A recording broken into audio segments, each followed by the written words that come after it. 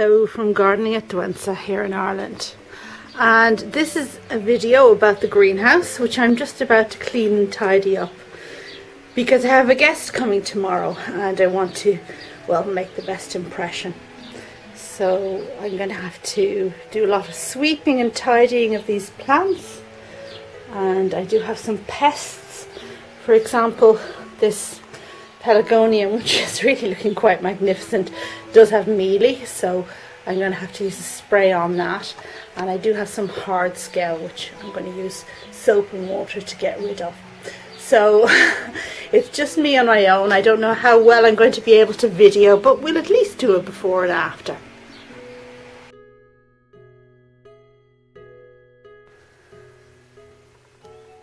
Okay well it's several hours later and the place is still undergoing its tidy up. I have done the top of the shelves here.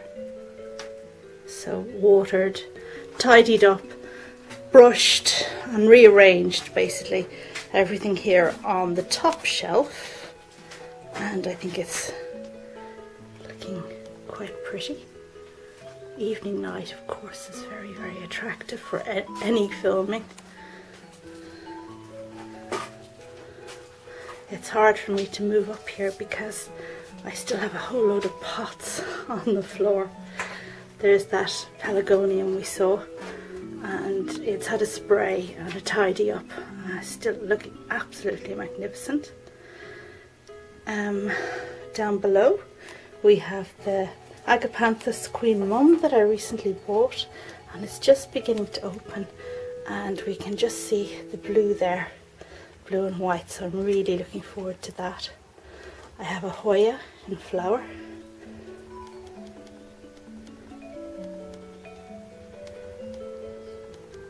We go.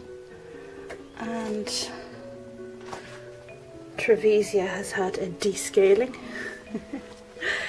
Pelargonium's a good tidy up and they really do need lots of tidying up. This Agapanthus, variegated Agapanthus, looks fantastic when it's not in flower because of the leaf. But as you can see up there, I do have flowers coming. And if we move further up the staging here, past Echeveria compton's carousel, which is looking amazing, and Geranium maderense, which I bought recently when I was in Cork, we can see another specimen of this variegated agapanthus and it's in flower. There we go.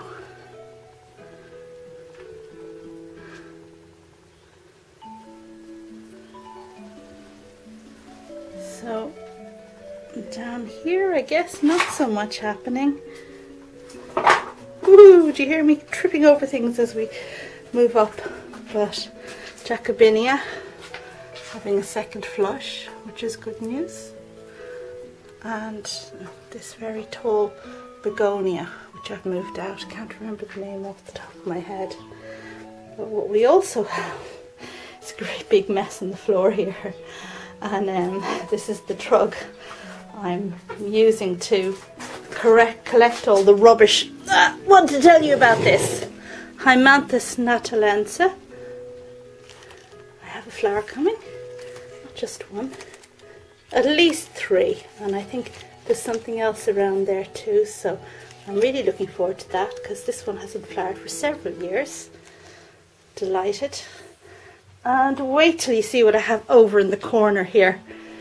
Still a lot of tidying up to do here as you can see and up here past the Amorphophallus which is looking good into the corner and past the Tibouchina which is looking great. I to just sort this area around out a bit better but in the very corner here we have Amaryllis in flower.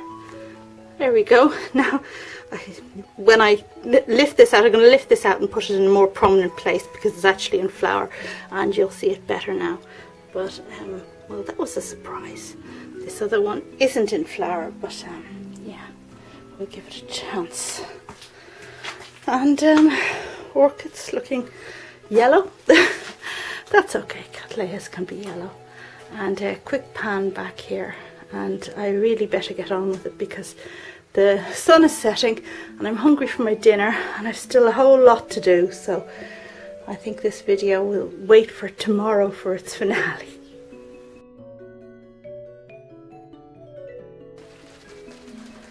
And good morning everyone. I finished cleaning the greenhouse last night but it was getting dark by that stage so I couldn't finish the end of my video so we've come out here this morning and a rainy morning it is too and we're going to look at what I did. And now I'm just going to stand back.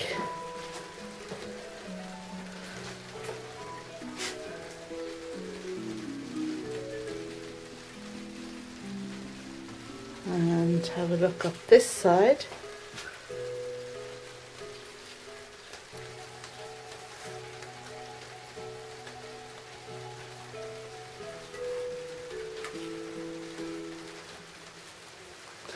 That's where the orchids are, the cattleyas, and then down the display shelving. And I'm really quite happy with the final result.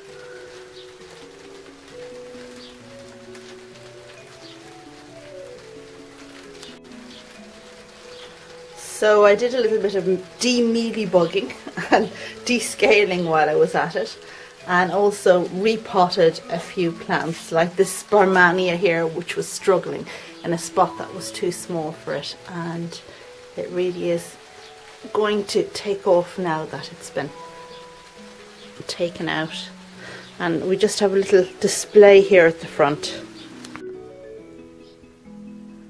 Jatropha is looking particularly good at the moment. It's really darkened up with the lot of sunshine we've had. We've really had drought sunny conditions here up until now when the rain has come down.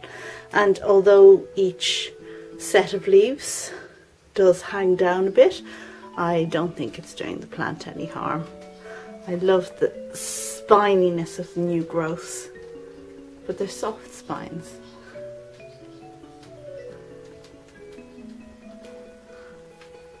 Love the shape of those leaves someone recently asked me about this agave and it's doing fantastically at the moment. I think it just really, really likes this sunny summer we're having.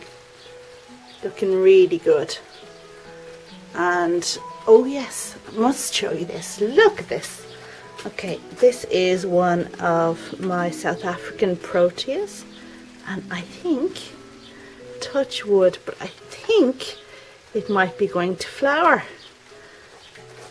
Think this is a leucanthemum. Let's have a look at the label down here. Leucadendron discolor. So, can't wait for that. that was a really exciting find. Okay, let's have a, a, look up the shelving and I'll show you what's interesting at the moment that we didn't cover already last night.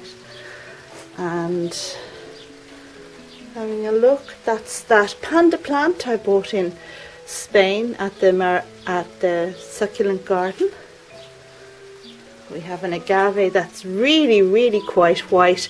It's a variegated one obviously and it's really favoring the cream. Now I think there's still enough green in there because of course any plant that goes completely white or completely yellow is going to die because it needs the chlorophyll and the green to survive but I think this one is still okay.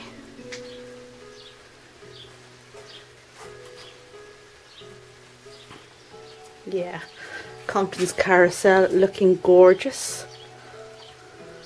Begonia, yellow begonia at the back here.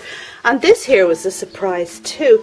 Now this is a bulb I picked up in Portugal earlier on this year and I had no expectation for when it was going to flower and just discovered that it was sending up a spike now.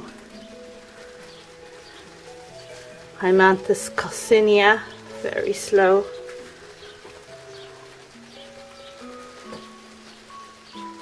I really do love that agave attenuata, the way it's in such a small pot, it looks great. And a variegated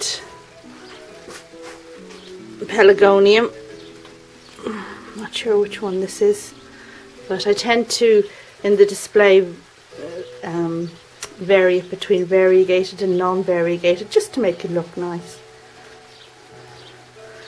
Here we have a Sonchus I was given, which is a giant Canary Island dandelion.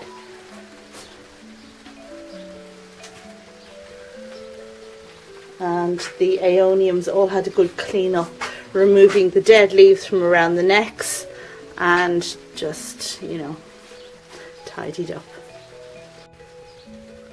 My begonias are looking good and this silver leafed one is looking particularly well.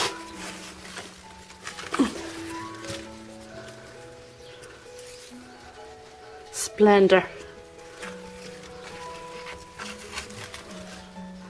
This one is Begonia palmatum.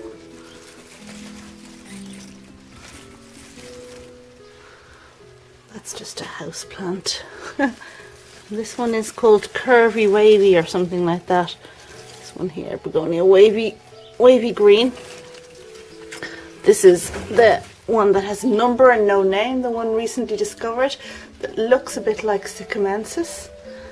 And at the back we just have a fern that is very good for a shady spot in the greenhouse. Last night I discovered that my amaryllis was in bloom, just very much the last thing I discovered before it got too dark to film and I couldn't lift it out because it's in a very big pot but it's out now and isn't it fantastic? Now when I say amaryllis I mean amaryllis. This isn't a hippeastrum it's not the plant that you buy at Christmas and have in flower over Christmas. It's an amaryllis and it flowers at this time of year. And it's in a very large pot as you can see down there. So I'm pleased to see that coming. Flanked by Sonchus fruticosus, another of those giant Madeiran or Canary Island dandelions. Alocasia macrorrhiza, I think, which I grew from a berry. And this is looking particularly good at the moment. I have it sitting in water because it really is a, a water-loving plant. Here to the right we have a Eucomis, and I was queried about Eucomis recently. This one is a hybrid called Sparkling Bur Burgundy, I think, and for some people it goes blacker, but this one isn't as black as I'd like it to be. Now I've no sign of flowers yet, but it's such a sunny summer I do feel confident that they will come in the end and beside it we have Begonia sutherlandii which is a wonderful hanging begonia usually for a shady position and I've just kind of moved it to the front here today to show off to my guest who's coming. I have it slightly shaded by the Sonchus there so fingers crossed. And moving up to the top of the greenhouse we have uh, Tibouchina in flower looking particularly good. And what else do we have beside it? We have my Amorphophallus. This is the pot where I put the small bulbs. This one, the trunk there is doing particularly well. And over here we have the one that flowered earlier on this year and it's just coming into leaf as you can see so it always takes a while after flowering to get its act together, which means it doesn't get enough light and growing before it's winter again to flower the following year. So hopefully next year this one over here is going to flower and we can take it in relays like that. Fine trunk on it. Behind we have that Musella um, yellow Chinese banana, I believe. And behind it, Begonia luxurians, which, well, it's doing okay. Okay, and I suppose I had better leave the greenhouse now and do some tending in the garden before my guest arrives. And just giving you a final pan of the greenhouse staging of the top bit which is the one that is supposed to look good and I think it looks really rather good.